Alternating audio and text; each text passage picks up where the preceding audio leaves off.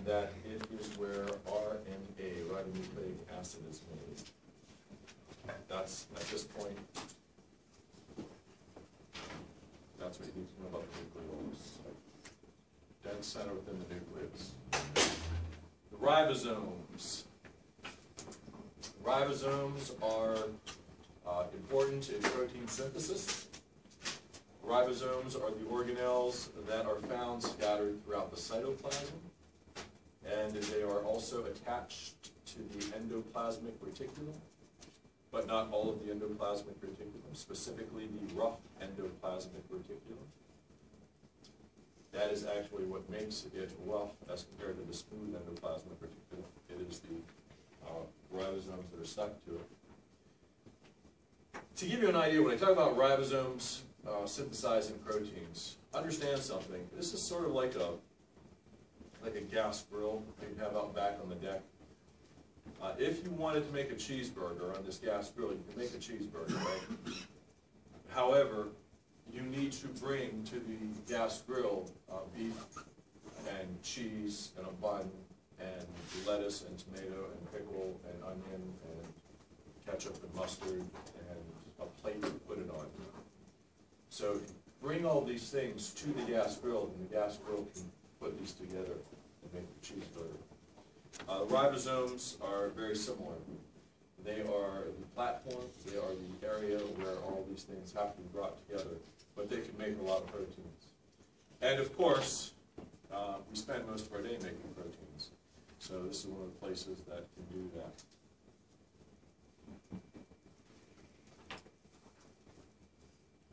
Centrosomes are areas that contain centrioles. Uh, centrioles help when it comes to cell division. Uh, you can see it, I think, in the one picture, it shows the cell. There they are, at the bottom of the picture. So they're spindle shape. When it comes time for the cell to divide, they can help sort of guide the division. I told you that um, Bruce Colbert, when he, when he does this type of cell biology, he goes into a little more detail, but he really just gives you the highlights, and that's about perfect. You don't need a whole lot more at this level, uh, so that is good. One of the very important organelles in the cell is the mitochondria. Mitochondria is always this bean-shaped organelle. It is uh, an organelle that has two membranes. It has an inner uh, membrane that has a bunch of curves to it, and then it has an outer smoother membrane. The mitochondria is the place that makes energy. Understand, every cell is responsible for making its own energy. So when we talk about our bodies making energy all day along with proteins, they're self-specific. Each cell has to make its own protein. So if that mitochondria, for some reason, the mitochondria all in one cell will fail or fails, that means the cell won't have any energy, that means the cell will die. Um, this is the power plant. This is the place that burns the coal, that makes the electricity. Of course, it does not actually burn coal, it uses things like glucose, oxygen, and a little bit of water. I, I believe, though, when he writes about this, he sort of explains how the mitochondria takes this glucose and transforms it. It's not exactly accurate. Uh, in the cytoplasm, we have the process of glycolysis that actually breaks the glucose down to a usable form. We have to start by putting in a little bit of energy in order to do that process, but we yield uh, quite a bit of energy out of every glucose molecule, so it works in their advantage. I've said before how, or I talked a little bit about it, uh, red blood cells have a different way of making energy, a somewhat different way of making energy, whereas most of our cells use a mitochondria as the power plant. We also have this sort of backup pathway, uh, like a backup generator. Well, the red blood cells are a little bit different in that they pretty much just run on the backup generator power. So uh, they can they can do a certain amount, but in some diseases, like we said with the G6PD, if they don't have the ability to run that backup generator, then the cell breaks apart under any stress and uh, insult. The energy, of course, that the mitochondria makes is adenosine triphosphate. ATP. Mitochondria, by the way, have their own DNA. Uh, It's theorized that the mitochondria actually started out as a separate organism. That early in our development, it may have been a type of bacteria, which is one of the reasons why I was explaining the, the double membrane. And well, in early in our development, uh, this cell that was the early form of us sort of engulfed this bacteria, or maybe the bacteria got inside the cell, one way or the other. Uh, It became a part of the cell, and then it decided, it was determined that the mitochondria can use stuff that our cell has, and of course, we could use the energy, so it became symbiotic and it just stuck around. So it eventually became part of our cell. And although that sounds like a, a strange concept, that we have something that may have been another living organism that we incorporated into our own cells. Uh, the reality is, we have viral DNA that is incorporated into our DNA from uh, our, our early, early beginnings. And in fact, if it wasn't for that, uh, for instance, when the, um, the blastocyst, when the, uh, early embryo, the early, you know, uh, egg met the sperm, now it's going to start becoming a person. The early form of this is gonna have to implant in the uterine wall, it's gonna have to dig in and into the endometrium, the, uh, outer lining of the, the the uterine wall. It is the DNA that we find that is uh, considered to be a viral DNA that allows this to happen. So if it wasn't for that, uh, we wouldn't exist very well. And of course, I've said before that when we have uh, viruses that people say lie dormant in us, they don't really lie dormant. It's not that they're hiding in a closet or under the bed. Uh, instead, what, is, what they've done is they've taken their information, their directions, and just put it into our directions. So that when the cell goes through and is reading the directions and following the directions and building like it's supposed to build, what happens is it gets to that page and just continues to build, just like it's supposed to. But in this case, it would be making uh, copies of the virus. So mitochondria is an interesting uh, part of the cell. Has to make energy to make the cell happen. And that happens on the inter, inner mitochondrial membrane. That's where we find the electron transport chain. You guys might hear about this a little bit later on. If you guys have a little more in-depth uh, biology background, you've heard about this. It's on that. Okay. And you can see it here, sort of. The little green bean-shaped organelle to the right. Mitochondria is always what looks like that. The endoplasmic reticulum, the ER. The the ER is in communication with the nucleus. So it can take those directions directly from the nucleus. Information from the nucleus goes right into the endoplasmic reticulum. There's uh, two types. They were named originally by the way they were viewed microscopically. Uh, some of the endoplasmic reticulum looks rough or bumpy, and that is because it has the ribosome stuck to it. That is the rough ER. That is responsible for making proteins. And then the smooth endoplasmic reticulum, uh, it looks smooth because it does not have ribosome stuck to it. And it's more for like lipid production, fats. Although, if you look at it, you see in this picture,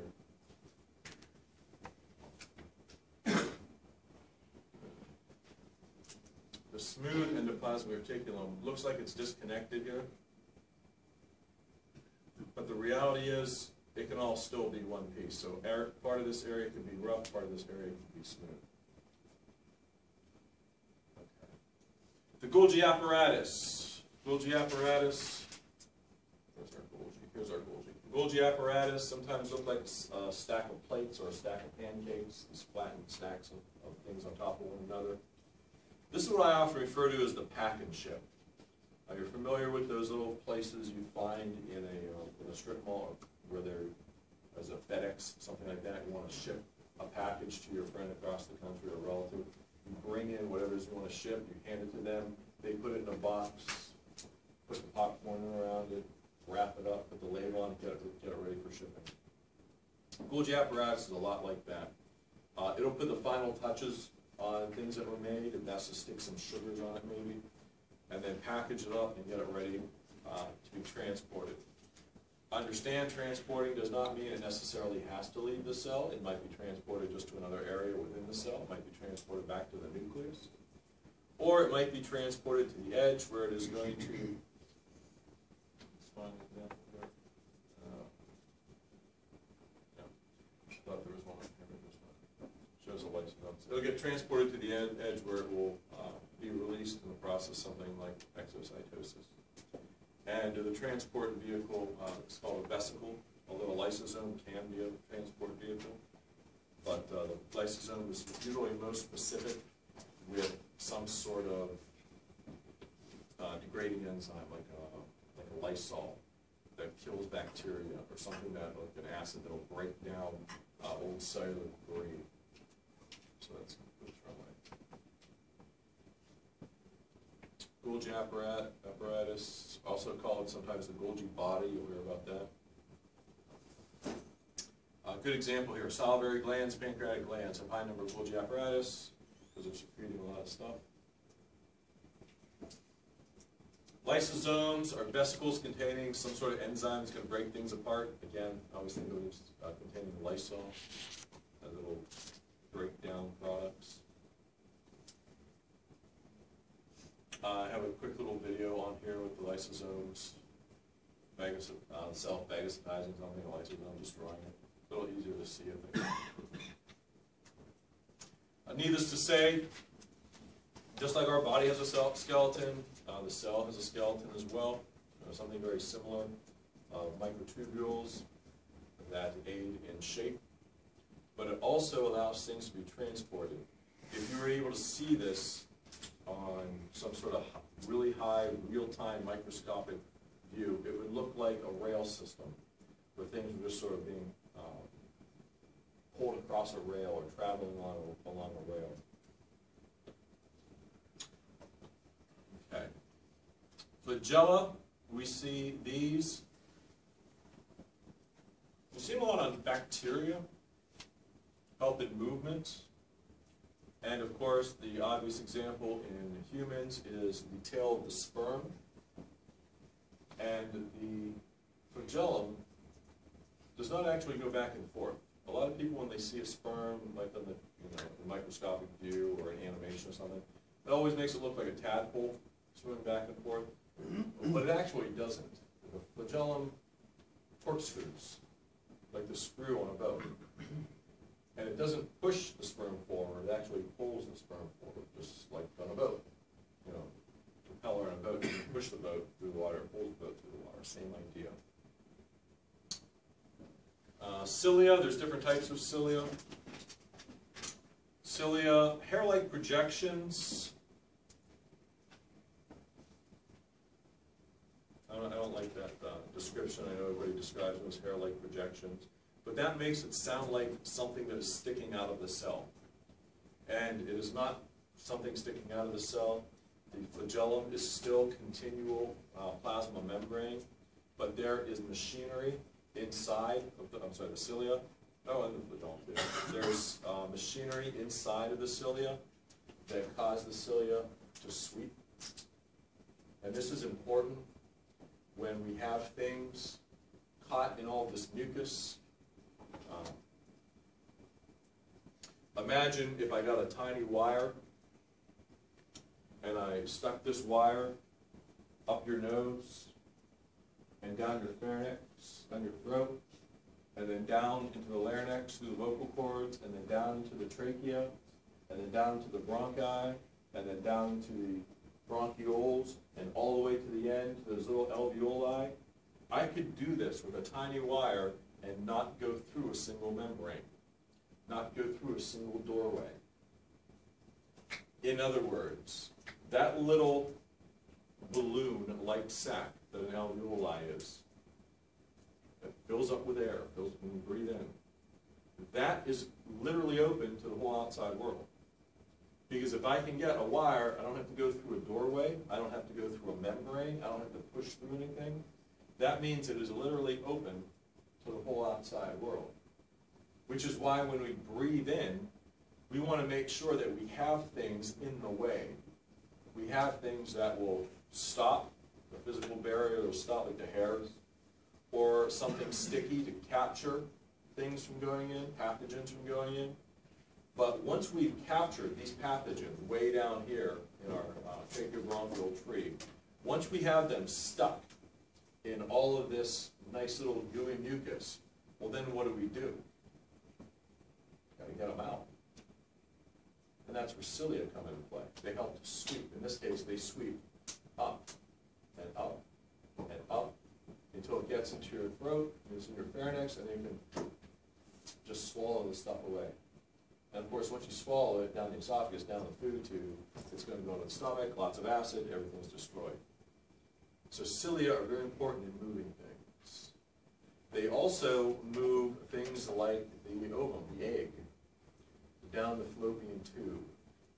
There's a process of peristalsis with the uh, fallopian tube that will help to move this along, but then there's also cilia that will push it down. Yes?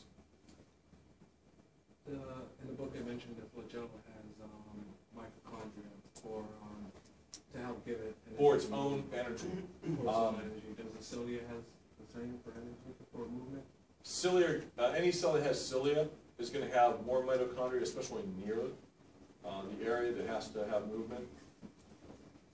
And it makes sense that any cell that's gonna cause movement is gonna require a lot of energy. So you could see this in muscle cells. You expect a muscle cell to have more mitochondria than, say, a fat cell, right? Same idea. Anytime you see a lot of movement, you're gonna expect a lot of energy is gonna be expelled. Um, Except sperm don't use glucose as a fuel. They use fructose as their main fuel. Same idea though. Uh, it still goes through a process similar to glycolysis. Mitochondria still make ATP of it. What about the cilia, does it have to use? Cilia uses glucose.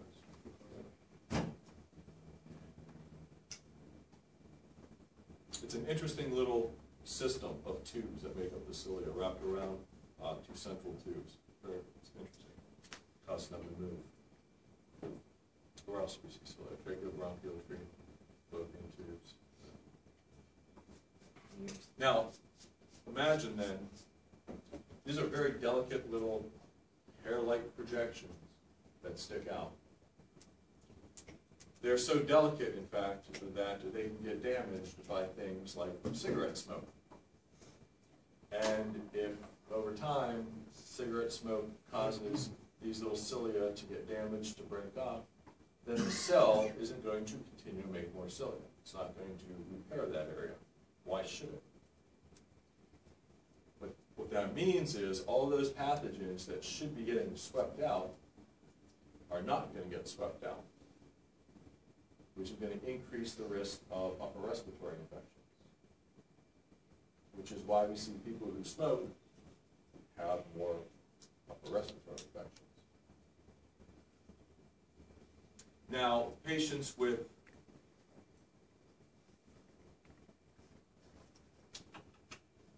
what would be a good example? Cystic fibrosis, patients with cystic fibrosis. Have you heard of this? What is one of the things patients have a problem with in cystic fibrosis? They generate too much mucus. It's, it's too thick. Yeah. So it's not a cilia problem with getting it out, it's just that it's so thick, not that it's not gonna move out on its own. So that's why we see respiratory infections in those patients. Uh, it's not a cilia, it's just the mucus so thick doesn't make it, a cilia's not gonna help. Okay. Cilia, good stuff, need to know about it.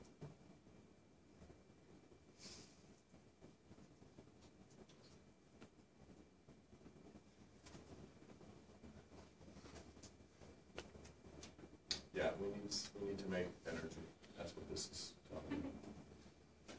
Where do we get our energy from? Well, we make it using things like glucose oxygen, and a little bit of water.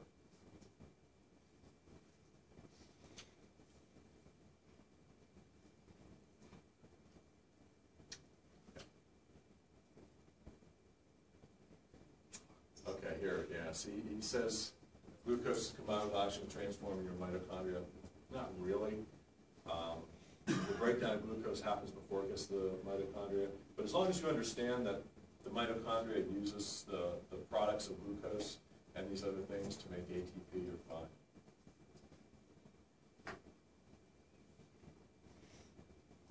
Yields lots of ATP, yes. Uh, we do have to use a little bit of ATP for the process to happen, though. There is an investment uh, in the, in the early parts of glycolysis. Waste products are made, carbon dioxide, for instance. Now we have to get rid of it. We get the carbon dioxide, we put it in the blood. Some of the carbon dioxide can bind in hemoglobin. Most of the carbon dioxide travels in the blood uh, in the form of bicarbonate, which creates a nice buffer. We talked about this. We talked about those bonds. Um, The highest level of energy is in the third phosphate group, the furthest phosphate group. Uh, so that is the bond that is broken, that yields the most energy. Uh, then we end up with the adenosine diphosphate, ADP. If we break that bond, we get a little bit of energy, it just isn't worth it. Uh, and then if we break the last bond from adenosine monophosphate, we get hardly any, energy. So the reality is, we wanna make as many ATPs as possible.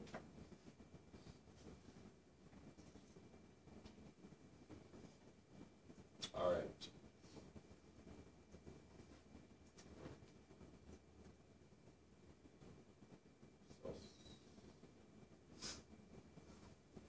Mitosis. Uh, This is the process of cellular division. When cells have the ability to, to divide, uh, most of them spend their lives not dividing. Most of the time is spent in a phase where uh, the cell is doing its job, doing whatever it's supposed to do. And then for some reason, uh, we have a situation where we want to make another cell. Well, if you have a baby liver, you're, well, if you're a baby, and you have a baby liver, and you're growing up, uh, and you wanna have an adult-sized liver. So those liver cells are going to copy each other and divide, and you'll end up with more liver cells, therefore more liver tissue, therefore a bigger liver.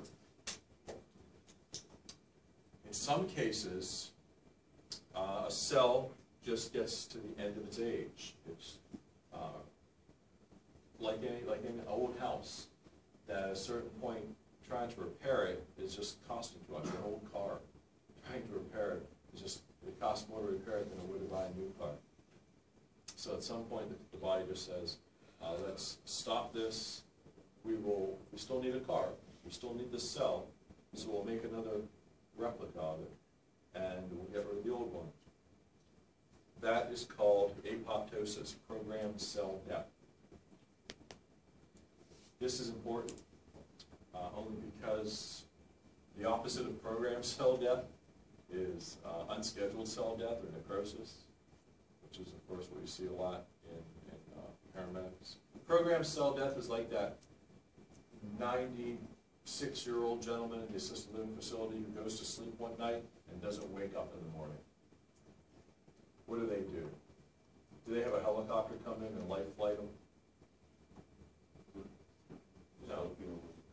I'm sorry? Just call it Peter. Yeah, because it was that time, it was just, it was, a- it was old. It's quiet, it's a quiet process. Unlike the twenty-seven-year-old who gets shot in the middle of the street and picks up his cell phone and dials nine-one-one and screams into it, help me, I'm dying. Loud process, who shows up? Everyone, Everybody. information, And when that happens in a cell, what do we call that? Inflammation. inflammation. We have all these cytokines, um, these, um, chemical nine-one-one messages that go out. And then we have these cells and these particles that come in and try to help. And all of that, all of those solid particles, all of those things that are, uh, calling for help and trying to help, that response is called inflammation. And then, of course, later on, because of all, all that is happening, we see edema and redness and swelling, so. So, if we have this old cell that is just falling apart, but we still need one that looks just like it, uh, the first thing we're gonna do is we're going to copy the most important part, the most important material in that cell, which of course is the directions, the DNA. Don't have to worry about with this with red blood cells, we'll just make those from scratch, from scratch. But with uh, other cells in the body, if we're going to make a copy of this cell that's dying, we have, we wanna make the most important material copied first, the DNA. And I'm sure that you have. I apologize, I'm taking yours now. I'm sure that you have taken a paper like this and put it on a copy machine and made a copy of it. And then taken that copy and put the copy on a copy machine and made a copy of it. And then taken that copy and put it on a copy machine and made a copy of that. And then took that copy and put it on a copy machine. What happens over time? Quality. after all of these copyings of the copies from the copy of the copy from the copy of the copy of the original, over time, it begins to get a little unreadable, right? A little change here or there becomes a big change here. We start to not be able to read entire words. So if you're trying to uh, put this, something together, bake a cake, whatever it might be, and suddenly you can't read lines, how much you know, sugar to put in, or where this part goes, or if that part even exists, uh, it's gonna make it really difficult to build this. So imagine for a minute, you get cells, they're gonna divide, the first thing they do is copy the DNA. As this continues on and on and on throughout the lifetime, after a while, that DNA is gonna be a little different. The cell's gonna have a difficult time reading it. In other words, we're gonna end up with mutations along the way. Which means, after a while, that new cell is gonna be different. What do we call that, when cells become different? Cancer. This is why, you ever talk to those older people, and they say, in my time, you never heard of all these people dying from cancer. Of course not, because they were dead by the time they were sixty.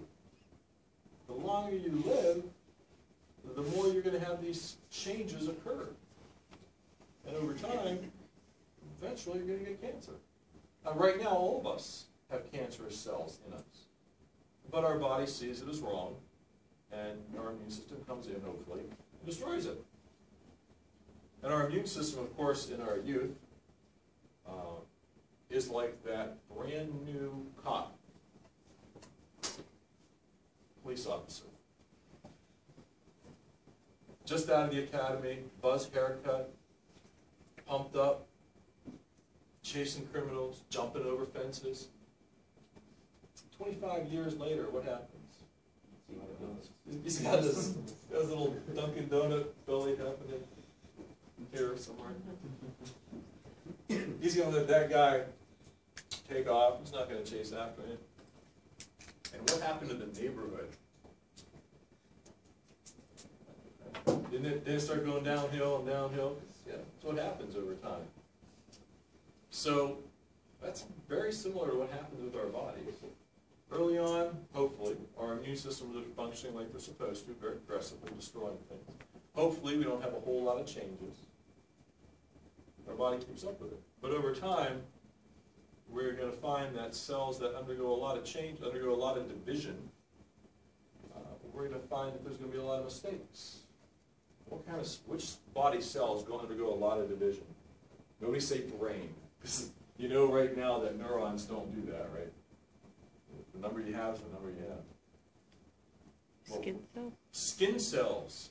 So we're gonna see a lot of skin cancer as we get older, aren't we? Absolutely.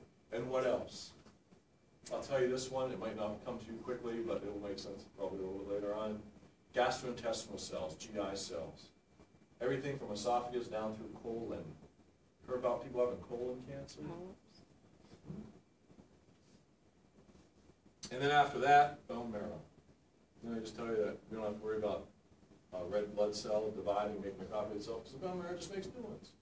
You start out with that hematopoietic pluripotential stem cell, just keeps making them as it needs them. But if over time keeps doing this and doing this and doing this, after a while, there's gonna be a mistake. That's cancer. So now you can understand that if you insult a tissue long enough,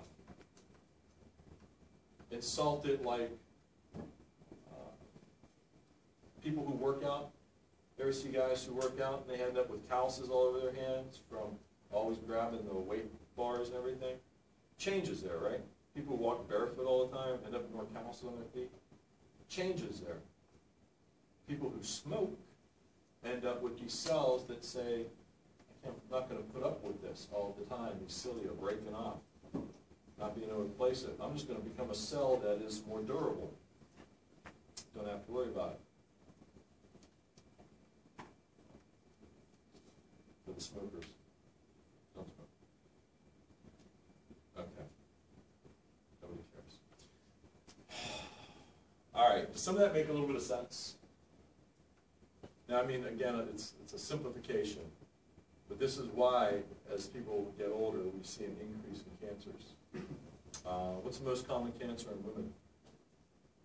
Breast, of course. Do you know that uh, about ninety-five percent of all breast cancers are sporadic mutations? In other words, brand new mutations. In other words, had nothing to do with genes. In other words, and this goes against everything that you've heard, it has nothing to do with hereditary. Know people always say, well, if someone in your family has, if a woman in your family has breast cancer, it puts you at higher risk. If grandma is diagnosed at eighty-seven years old with breast cancer and dies when she's ninety, that really doesn't put anybody in the family at a higher risk than somebody who doesn't have that. Because that was a brand new mutation. Now, it's different if mom is diagnosed at thirty-seven with breast cancer, now that's a problem, then we see a problem. It doesn't mean that you should ignore breast cancer, ladies and gentlemen, It doesn't mean you should ignore it. Uh, But I just wanna dispel a couple, some, some of those myths. And yes, men can get breast cancer, men have breast tissue, about two thousand men a year get breast cancer, which is nothing compared to the number of women. But that's about two thousand more people who didn't think they'd ever get breast cancer. You know, most guys don't think about breast cancer, why would you? All right, so that's why we end up, oh, by the way, well, what cancer uh, do men get? What's the most common cancer in men?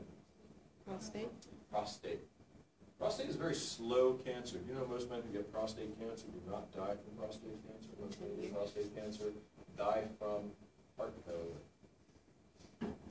Or, uh,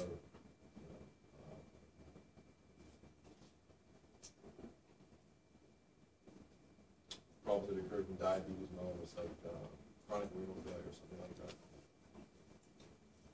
Do you know what cancer kills men? Most common cancer that kills men? No. Lung. Lung. You know, the most common cancer that kills women? No, Skin? no. I don't know what you said, but no. Lung cancer. It is still the cancer that kills women. And how do we get lung cancer again? I forget. Uh, you know this, right? Everybody knows uh, smoking cigarettes puts somebody at high risk of developing lung cancer. Now, does that mean cigarettes cause lung cancer? Not really.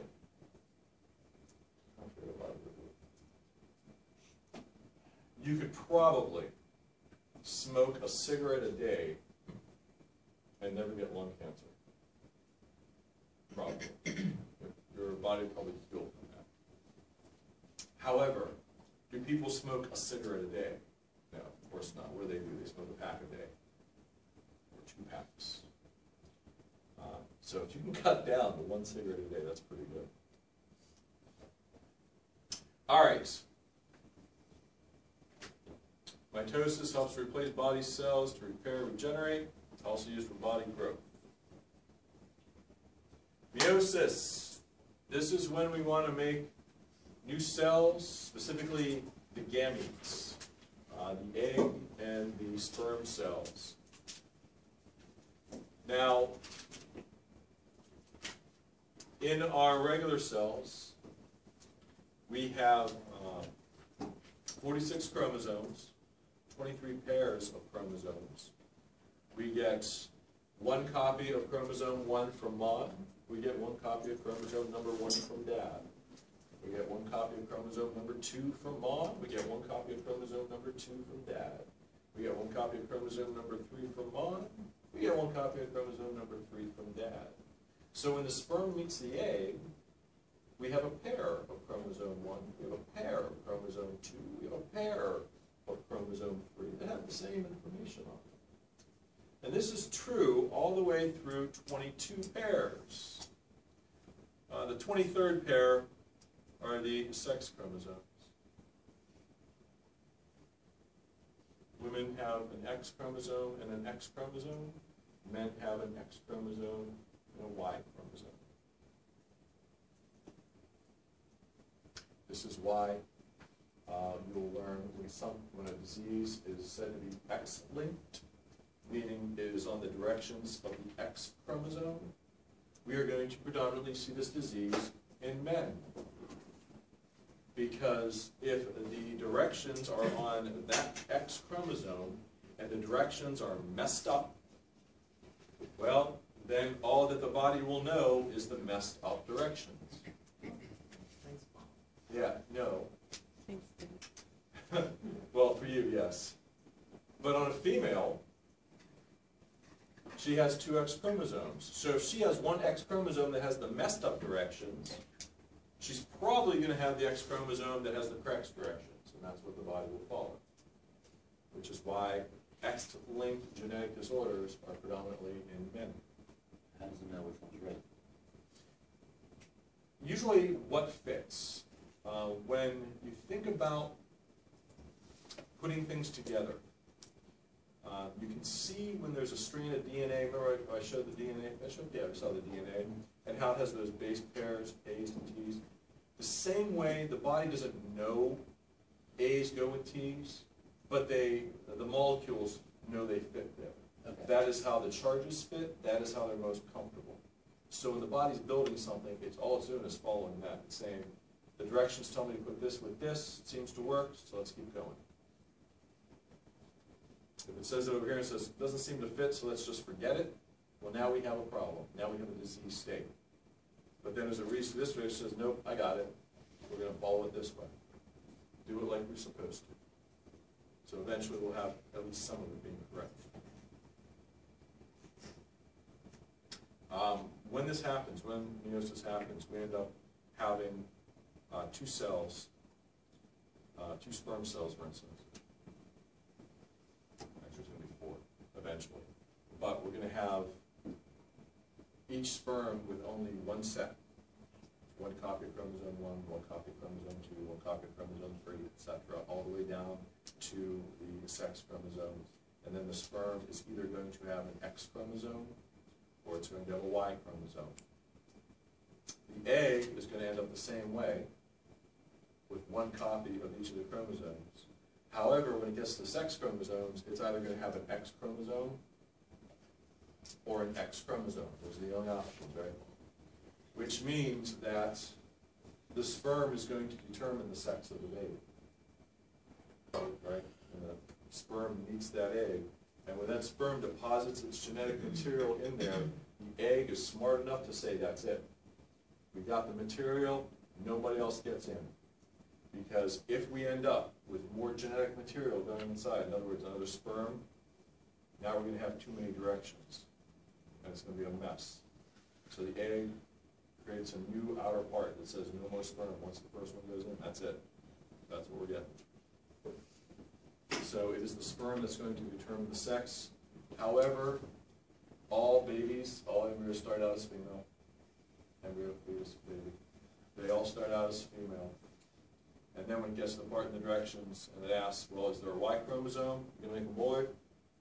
Uh, there's a Y chromosome, what they do is they start shutting down X chromosome blind. And turn on the switches for Y chromosome, it's gonna be a boy.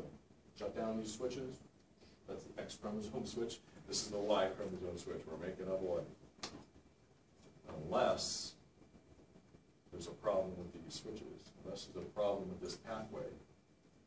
In which case, the body says, uh, we can't continue going this way, so let's default back to what we were doing before.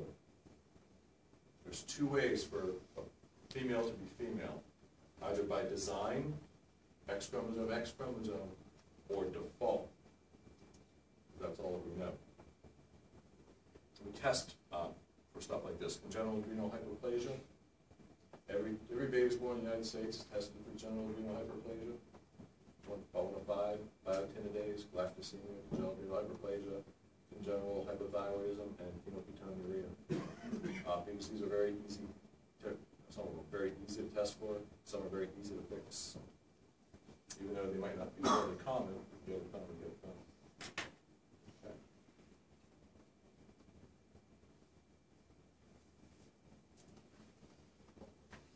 Questions about this stuff?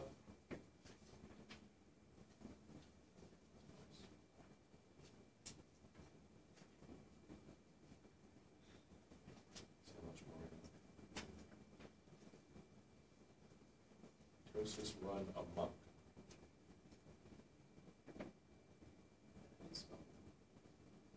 Amok. We talked about bacteria, viruses, fungi, and protozoa, so I'm not gonna go through this too much. Very quick uh, overview of it.